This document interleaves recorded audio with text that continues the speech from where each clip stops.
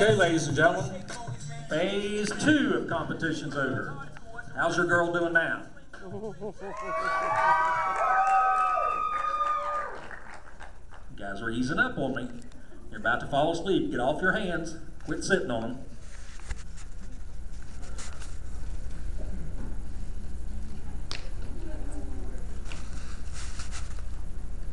Yeah, you're there.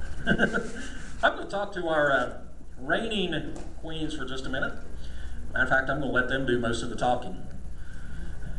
Why are you carrying that poor crown? Well, This poor crown won't stay on my head at all.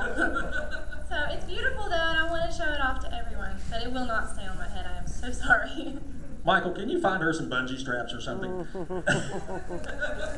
hold it. Hey, I can fix anything. Bungee straps and duct tape, I'm good. We, we, we can find you duct tape. That crown will stay on. Tell us about your past year as um, Cherry River Festival Queen. My past year has been one of the most memorable experiences of my life, and I am so blessed to have been able to be queen over this festival.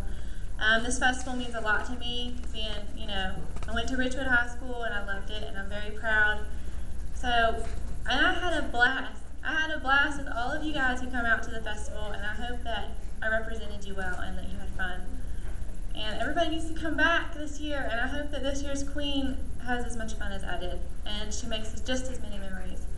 Krista, you want to tell them about your year? You have to. Okay, um, I have to say that my year was very memorable too. Okay, that my year was very memorable too. Um, I go to Richwood High School as well. Well, I haven't graduated yet, but I do go to Richwood High School, and I love this festival. It's probably one of my, it's my, it is my favorite festival in Nicholas County, and I did have a blast. and it's, I, It. I don't know how else to say it.